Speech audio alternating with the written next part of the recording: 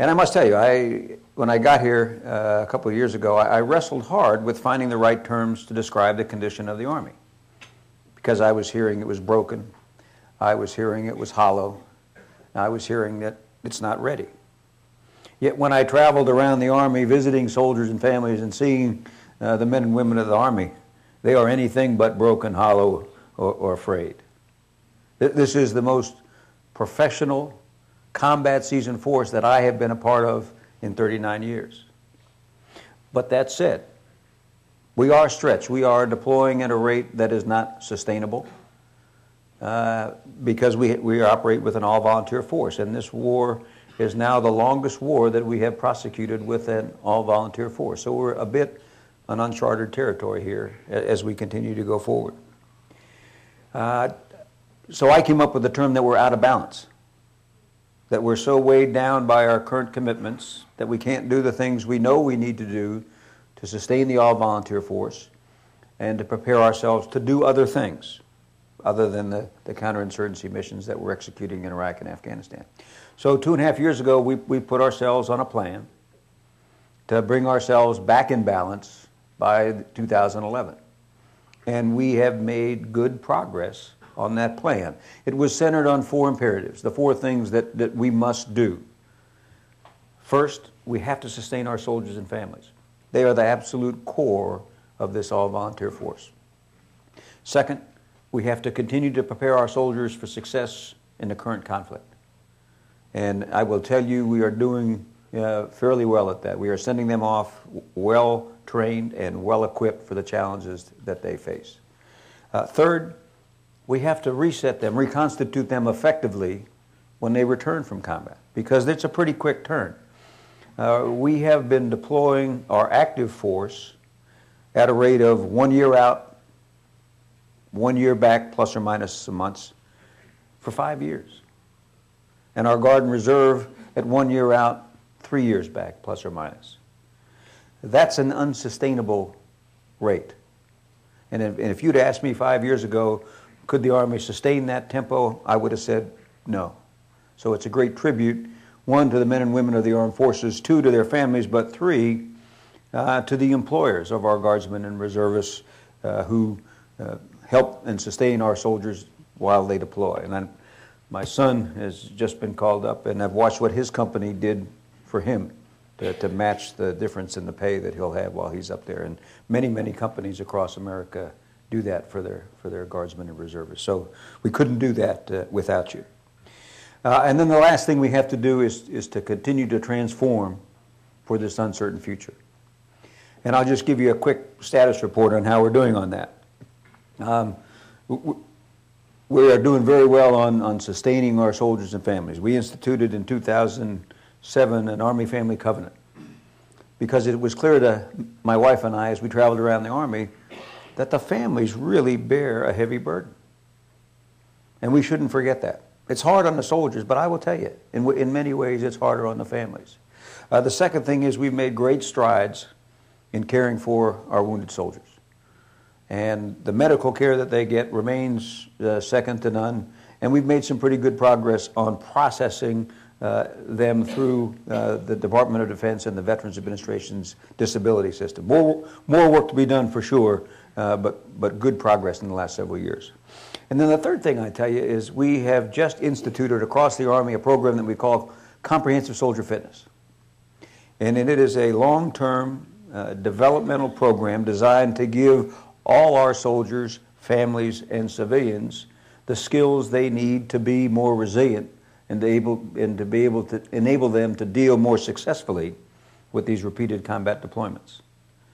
And it's got four elements to it. The first is an online survey, where every soldier or family member can go online in, in the privacy of their, their own home and take this survey. And this survey was built for us by uh, leading scientists at the University of Pennsylvania and some of the best minds from across the country.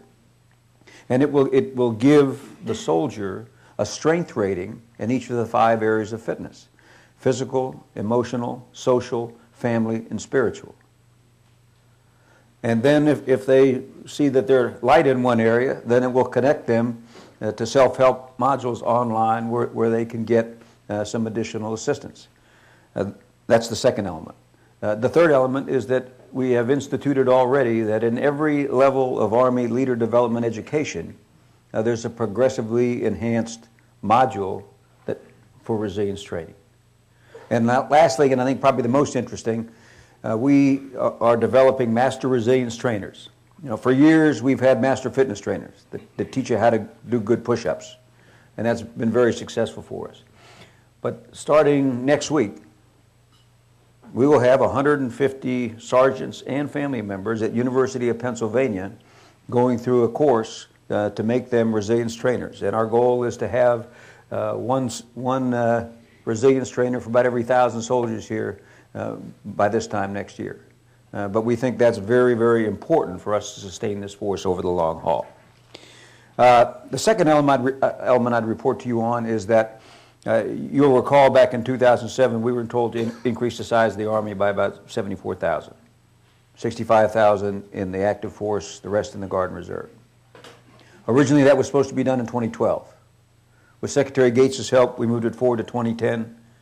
With the help of some of the great recruiters that are out here today, we finished that growth this year, th three years ahead of schedule. And not a moment too soon, if you don't mind my saying so. Uh, and then additionally, uh, this summer, Secretary Gates allowed us to temporarily continue to grow the Army by another 22,000. And, and, the challenge we're having is, is that we have so many soldiers already deployed that we can't put in units. We have so many soldiers recovering from wounds that we can't put in units. And we have so many soldiers just, just nursing injuries from the repeated deployments that they're not available immediately for deployment. And so all of those things have helped us and put us in a position uh, where we are better ready to absorb uh, some increased uh, demand than we were two and a half years ago. And so that's a very positive step. Uh, the reason that's important is because the more soldiers you have, the more time that the soldiers can spend at home between deployments. And I have come to realize that the most important element of uh, getting ourselves back in balance is to increase the time the soldiers are at home between deployments. And one of the things we see as we look around the Army is the cumulative effects of repeated deployments. The second deployment is harder than the first, the third is harder than the second, the fourth is harder than the third. It's just the reality of it. And we have now scientific evidence that shows us that it takes between two to three years for the stress levels uh, of a combat deployment to return to normal garrison levels. As I said, we've been turning soldiers back in, in a year plus, and we have to expand that. And with the drawdown in Iraq, uh, if that proceeds on schedule, and even if there is a plus up in Afghanistan, we will still make progress toward our goal of one year out, two years back for the active force, and one year out, four years back for the Guard and Reserve by 11. And I think that that's usually important for us. So, uh, bottom line, uh, we've made good progress over the last two and a half years. Uh, we're not out of the woods yet by any stretch of the imagination, and we do still have a couple of tough years ahead of us. But you can be very, very proud of, this, of the magnificent service of the men and women, not only of the United States Army, but, but of all our armed forces. So, break on the Army. Now let me talk to you just for a minute, uh, actually 10 minutes, uh, about the future. Because, again, as Jan said, one of my responsibilities is to assure 10 years from now the country still has an army that can meet the challenges that it faces. So we do, we do spend a lot of time thinking uh, about the future and about what war would look like in the future. But we, we do that, we go into this with our eyes open. You know the old Yogi Berra saying that predictions are hard, especially when you're talking about the future?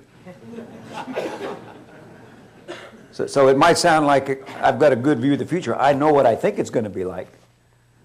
But whether it's going to be like that, I mean, what we try to do is not get it too wrong. That's our best hope.